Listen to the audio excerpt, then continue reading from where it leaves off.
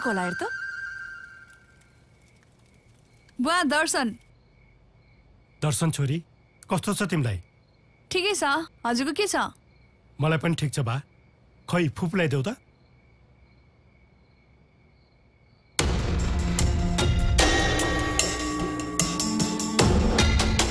दाई?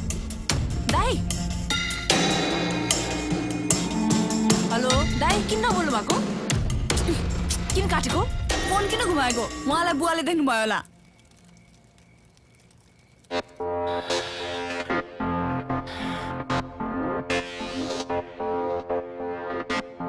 चाहिँ यसलाई सारा संसार खोज्दै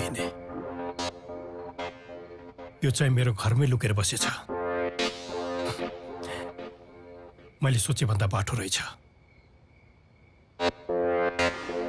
सही ठाउँ खोजे सस लुक्नलाई त्यसो भए हामी तेरो पेरेन्ट्स भएर तेरो स्कुल जानुपर्ने। अँ। खासै जान त मन थिएन कि होइन? तर ठिकै छ गइदिउँला। हजुरलाई कसले जानु भनेछ निता गइहाल्नुहुन्छ नि निदा गइहाल्छ नि चुप्ला एक्लै गएर हुन्छ? आमा खोइ भन के भन्छस्? बाउतिर किन हेरेको? अनि? के भयो? हान्नुपर्छ अथ। ल्याउ। अञ्जनाको बुवाको।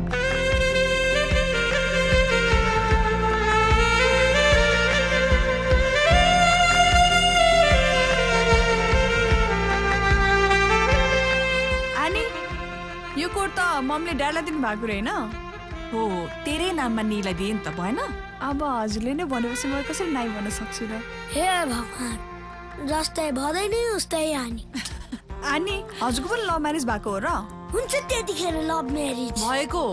उहाँले मलाई भगाएर दार्जिलिङ लानुभएको त्यो बेलामा मायामा पनि काहीँ समय हेरिन्छ त सत्ययुगमा सत्यवतीले महादेवको प्रेममा अग्निकुण्डमा हाम फालेर ज्यान दिएकी थिइन् रे भगवान्को पालादेखि नै चलन खराब रहेछ। सत्ययुगमै त्यस्तो भएपछि कलियुगमा किन यस्तो नहोस् त? बढी कुरा नगर छिटो स्कुल इन तेरो प्रोग्राम स्टार्ट भइसक्यो। है? अँ शिशिरको डान्स पनि कस्तो राम्रो थियो। अँ त्यही त।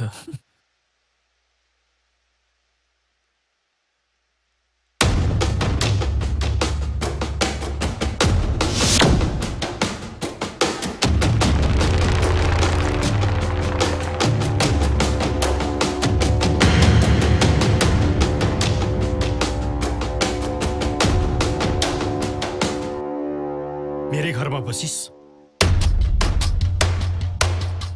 अनि मेरै कोट। मैले दिएको। बहिनी तिमीलाई थाहा छैन। यो को हो भनेर।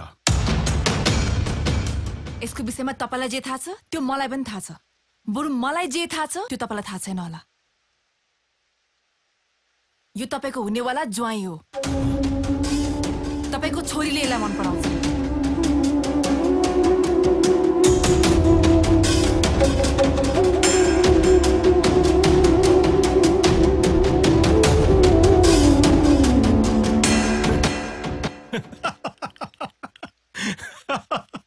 छोरीको बिहेको कुराले बुढाको दिमाग जस्तो छ। म जुन सहरमा जान्छु अपराधीहरू त्यो सहर छाडेर भाग्छन्। मेरो छाया समेत पर्न दिँदैनन्। त भने मेरो घरमा लुकेर बसिस। मेरै कोट लगाइस मेरै छोरीलाई फकाइस तँलाई के लाग्छ?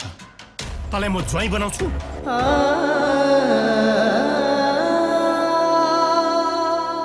अठार वर्षको मेरो प्रहरी सेवामा एउटा सानो दाग शुद्ध लागेको थिएन।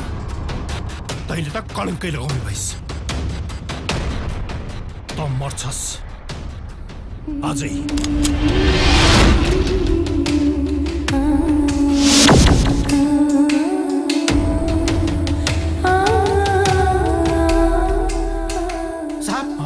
त भाग्यो चुचु पारेर